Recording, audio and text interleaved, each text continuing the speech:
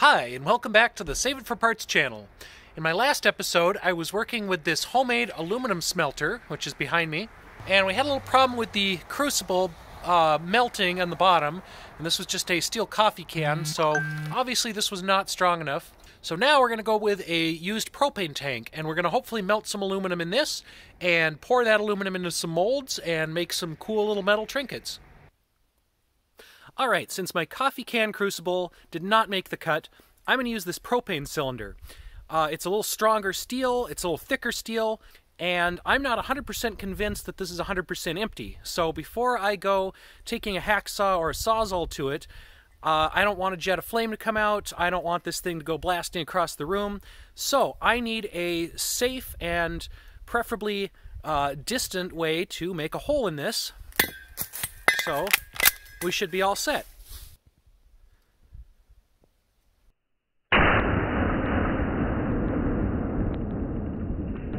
So that one actually had a little more juice in it and yeah, you can see it pouring out there. So it sounded empty when I shook it, but obviously it had a little bit of pressure left because that uh, exit hole is much bigger than the other one.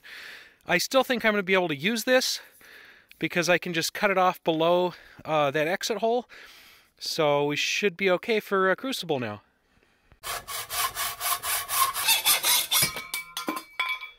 Okay, so to do my forms, I'm going to fill the box with some sand. And then once I've leveled this out, I can stamp some things down into it. I'm just going to do this flat casting to start with and see how that goes. Again, this is homemade charcoal from a fire pit.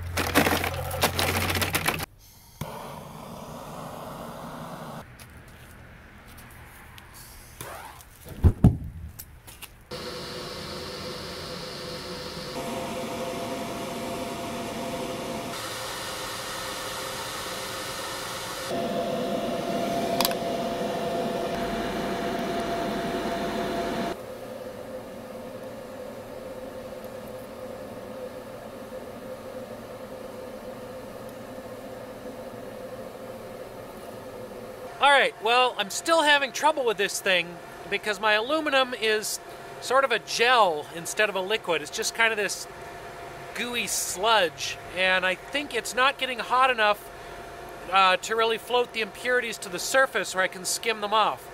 So I'm out of my homemade charcoal. I've reloaded the thing with commercial charcoal, and we're going to try to heat it up again and see if we can get that aluminum to stay liquid. So the same thing happened again bottom of my crucible just melted out. So if you are trying to do this at home, be aware this is way, way harder than most of the internet videos make it seem. Uh, this is my second attempt with this thing, and I am getting nowhere. Okay, we're going to try this again, and I'm going to do something a little differently this time. This is how much slag or waste was in there from those cans.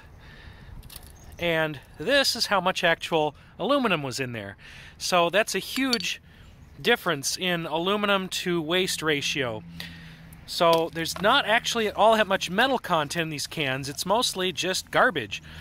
So I have to melt a lot of these to get a little bit of metal, and there's going to be a lot of that stuff floating on the top. Now I think my problem with these last two crucibles is that I was attempting to scoop that molten junk off the top, and I must have pushed too hard and I pushed the bottoms out or blew a hole in this one. So instead of trying to scoop the junk off the top, uh, I'm going to do what some other YouTubers have done and try to pour the molten metal from the bottom, leaving that junk behind. And supposedly that works. Supposedly you can just pour the liquid metal out and it'll come out from underneath without dumping all that junk into your form.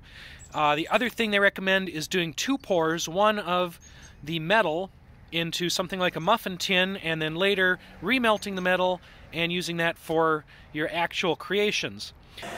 All right, we have got it up to temperature. Um, I've got about 10 beer cans in there and there's a lot of slag on top, but I'm hoping there's a core of molten metal at the bottom.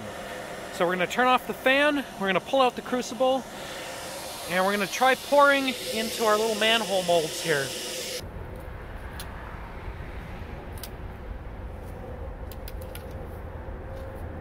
Well, we've still just got kind of a aluminum slag pancake in there. There's there's still really no molten metal in this.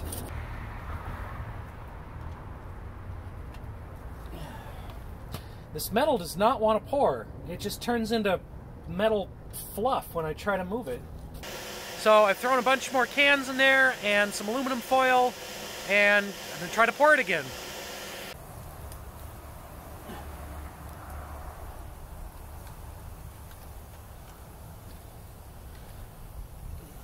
All right, that went pretty poorly again.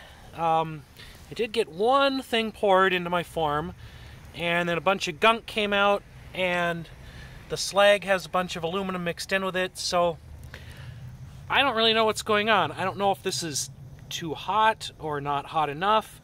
It's definitely hot enough to melt and deform my crucible. So let's try the other method. I've gathered up a bunch of the more pure blobs of aluminum that have come out of my failed attempts. So I'm going to try to melt those down.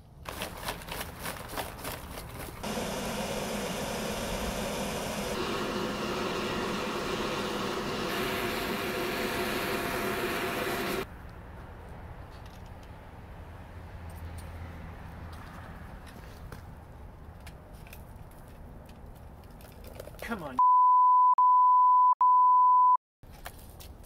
Alright, so I've got what looks like molten uh, aluminum in there, but it sure won't pour, so I think I'm probably just not getting this hot enough to really keep it molten, because as soon as I start to pour, it just gets sticky. Alright, so after three different attempts at melting aluminum, I have this as my entire product.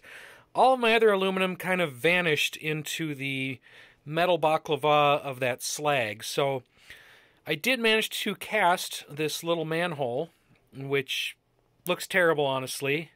I was trying to copy this Ninja Turtles manhole, and it came out looking like a lumpy cookie. So I could keep poking at this smelter until it worked, but if I've learned anything from my speedboat project, is that I could just poke at this for six months and get nowhere. So I'm going to give up for now. I'm going to set aside my aluminum smelting idea and maybe I'll return to it in the future. Maybe not. I'll have to do some more research and see what was I doing wrong and what could I do better. So this may or may not show up in a future video. We'll see what happens. Uh, thanks for watching. Uh, check out my other videos for a variety of projects, many of which actually succeed, and we'll see you next time.